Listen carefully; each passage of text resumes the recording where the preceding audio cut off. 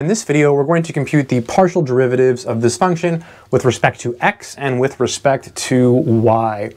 So let's go ahead and do it. So del z, del x.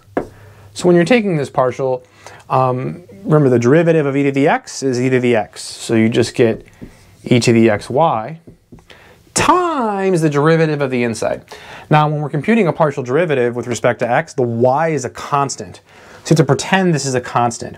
So the derivative of x is 1, so we just get y. Again, when you're taking the partial with respect to x, the y is a constant, the derivative of x is 1, so it's like you get 1 times y, which is y.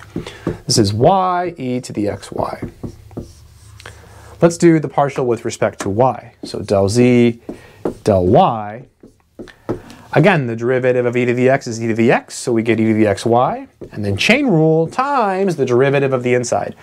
Well, in this case, the inside function is xy, and the x is a constant now, so the derivative of y is 1, so we just get uh, x, because it's like x times 1. Again, the y, the x is a constant, so the derivative of y is 1, so we get that. So this is equal to x e to the xy. And that would be the partial derivative of z with respect to y. This is the slope of the function in the x direction. This is the slope of the function in the y direction. I hope this video has been helpful.